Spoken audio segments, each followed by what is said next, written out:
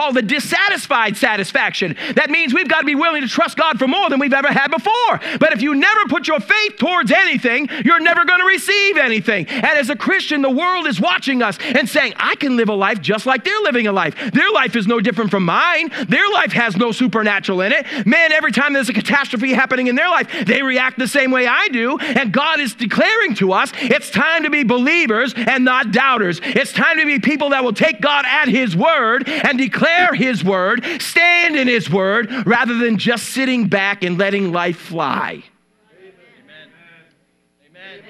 That's good preaching, whether you like it or not. Say amen. amen.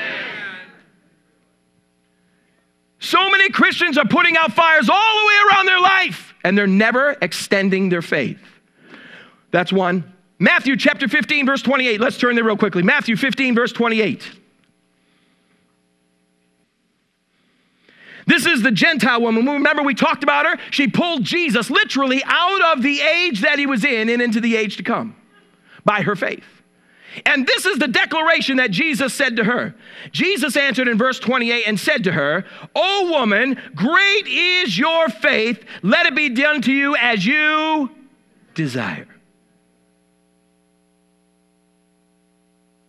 And her daughter was healed from that very, very hour. There is a principle that we've got to lay hold of here, and that is we've got to be believers. We've got to start believing God for greatness. We've got to start believing God for supernatural. We've got to start believing God for something we cannot do ourselves. Yeah. Well, I don't want to be disappointed, and you won't be. You don't ever have to worry about being disappointed if you never believe God.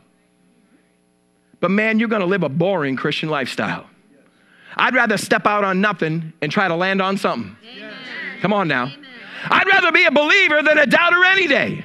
I'd rather be somebody that's willing to step out and fall than somebody who's never willing to step out at all. We'll just take Jack as an example. Jack, come here. Jack. This guy here, you got to hear his story. He is a very brilliant man. He really he is very brilliant. And he's got these business ideas that can generate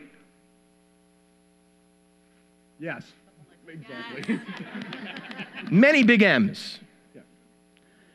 And you know, some people have looked at him and said, well, you know, Jack, you're kind of stupid. You know, you could have just had a secular job and you could have made, you know, 90 to $150,000 and or more and just sat back and relaxed. And he's going, no, but I got vision. I've got belief. I've got something that I'm aiming at. And he's believing God. And you know what? Listen now, you don't mind me saying? They've almost lost their house once. They've, they've come in hard times more than once, and they've come into the office and they've said, Oh, Pastor. And Jack has gotten discouraged a few times, and we built each other up in the faith. And you know what he said? I'm not giving up. And his wife has said, I'm not giving up. And man, God is moving in his life. Oh, I'm believing that he's gonna be the first million dollar check in the house.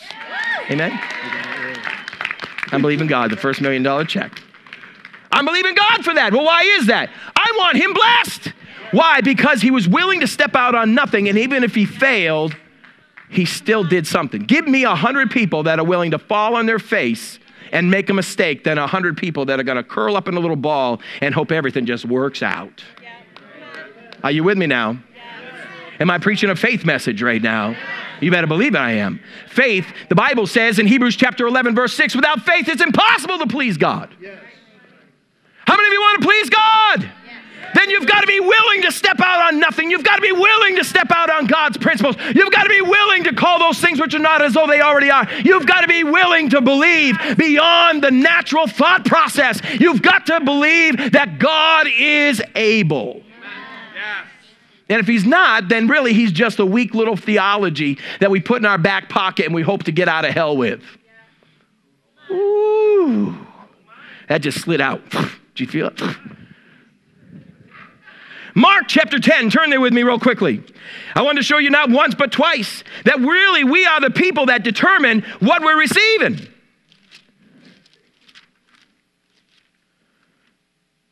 Well, I've gotten successful, I haven't needed God this far. Baby, you better hope you better not be saying that too loud.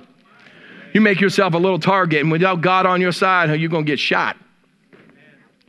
You don't want to become the target of the devil. Say amen.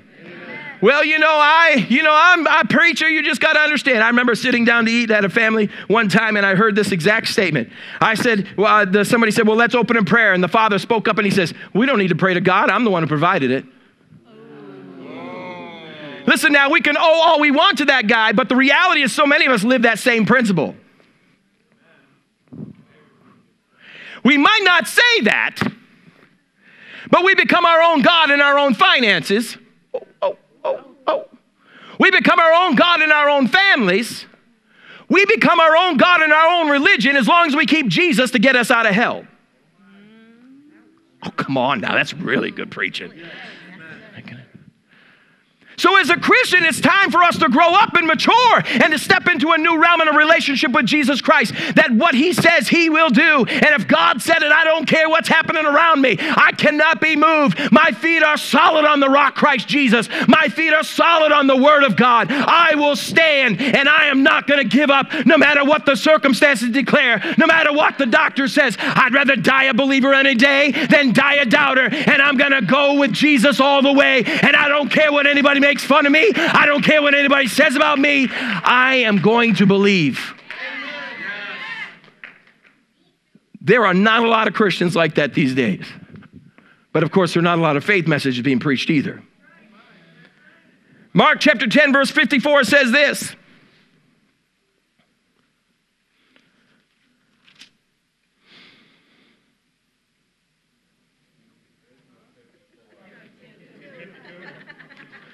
Hey, could be 52.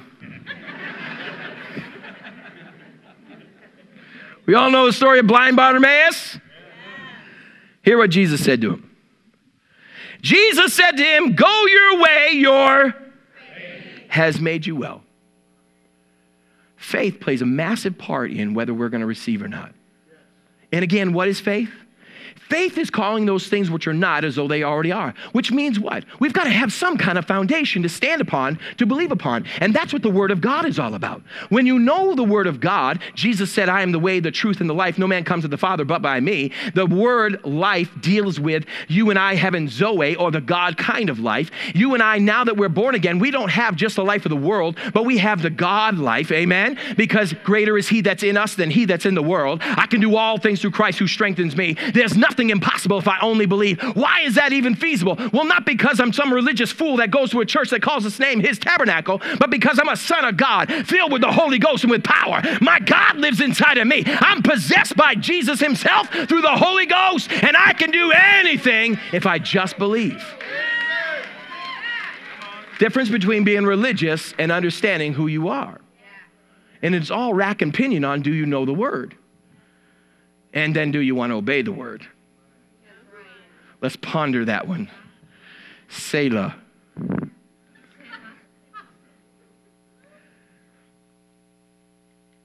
It's not just hearing the word, but obeying the word. It's just not hearing the word, but obeying the word. Obedience is better than sacrifice. Just give me a moment. Thank you very much for watching this week at His Tabernacle. Make sure you zoom in next week for the completion of this message. What happens is this is as a Christian, get used to it.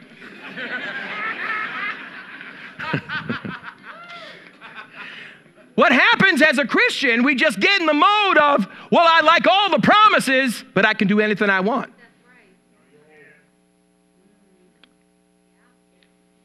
For the wages of sin is death, but the gift of God is eternal life through Christ Jesus our Lord.